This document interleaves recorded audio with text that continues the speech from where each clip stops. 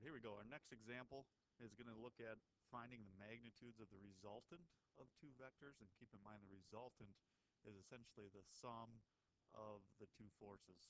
So here's what the problem says. It says two forces of 15 newtons and 22 newtons act on a point in a plane.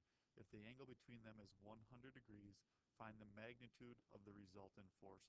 So if those two forces are working together um, on the same object, on the same point, um, which direction and, and, with how much force is that point going to be, or is it going to be applied to that point? So newtons is just a, a form of um, a measurement of force um, that's often used in physics. And let's take a look and try and set up a picture here um, to go ahead and help us solve out this problem. So um, we're going to start with just some point. Um, I'm going to call it point P. And again, this is the point that these two new these two forces are acting upon. So we'll try to draw this thing somewhat to scale. Um, the first force is a 15 newton force, so we'll kind of go ahead and represent 15 newtons as maybe that length there. That's kind of arbitrary. You can draw them kind of as big as you want. But we'll label that 15 newtons. And again, somewhat to scale here. We know if the other force is 22 newtons, that one should be a little bit longer. Um, and again, we'll try to make these proportional. And we also know that the angle between these two forces is 100 degrees. So, you know, that looks like about 90 there. So if we go a little bit more, you know, we're looking at about 100 degrees in that realm. And then again, we do need to be probably a little over a quarter longer um, just to get it to our scale a little bit. So that one there would be our 22 Newton force. And when we're looking for these resultants here, the magnitudes of these, um, I, I, really like to use the parallelogram method.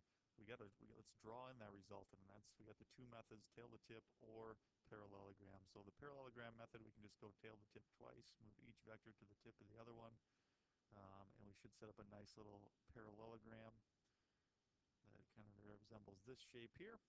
And then again, the resultant of those two vectors would be from the initial point to where the two terminal points meet. Um, and again, that's going to be then our resultant vector. So the vector we're trying to find the magnitude of is actually that one right there. Um, if we go ahead, just let's make that a different color real quick. And we should be looking at finding the length of that vector then. So um, let's give it a name. Um, let's call it magnitude vector v. And that's again what we're trying to solve for. Okay? So with the parallelogram method, the reason I like that one in this particular case is because we can look at some of those properties and hopefully be able to find a few extra pieces of information. So think back a few classes, back to your geometry class, and some of the properties of parallelograms we're going to want to remember are um, the fact that opposite sides are congruent. Okay? So in our drawing, that would mean that, hey, this one down here would also be 15 newtons, and this one up here would be 22 newtons. Okay?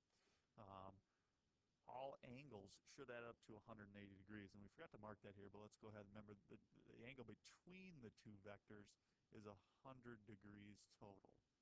Okay, so this angle here, this one is kind of important actually. That's a typo. It should be 360 degrees for all angles. Uh, but the sum of this one here, this one, this one, and this one all should add up to 360 degrees. Um, number three, opposite angles are congruent, which means this angle down here, opposite, straight across from the 22 Newton force to the 15 Newton force, that would also be 100 degrees.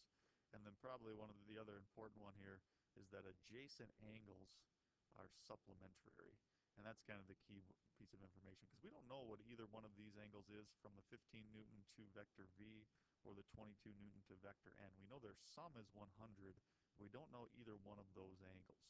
However, using this idea that adjacent angles are supplementary, and adjacent meaning any two consecutive angles, so this one here and this one here, we should be able to label a, full angle. So using property 4 there, we would now know that this angle, if that one's 100 and supplementary means add up to 180, this angle here needs to be 80 degrees. Okay, And then if we think about this, we know a side, we know an angle, and we know a side. So that means we should be able to use either our law of sines or law of cosines to find vector v here. And it's actually going to turn out to be the law of cosines. So um, this is the side angle side case that we've just previously studied. And if we want to find vector v, we should be able to set up um, a law of cosines problem. So to find the magnitude of vector v, which is the resultant of those two forces, we're going to go ahead and set up a law of cosines. So we know the two sides here and the angle between them.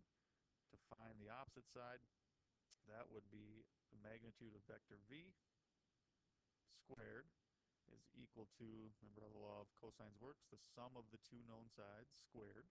So this will give us a 15 squared plus 22 squared, okay, minus 2 times each of the two sides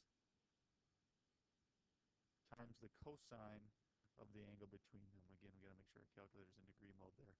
All right, so if we calculate this out, solve for magnitude of v, we will get the magnitude of our resultant. Um, so doing some quick calculations here, um, let's go ahead and plug some of this into our calculator. 15 squared um, plus 22 squared will give us 709. Careful with this part. Remember, there's almost like a set of grouping symbols here. You got to multiply before you subtract. But if we type all that in, we'll get 2 times 15 times 22 times um, cosine of 80. And that part will be negative 114.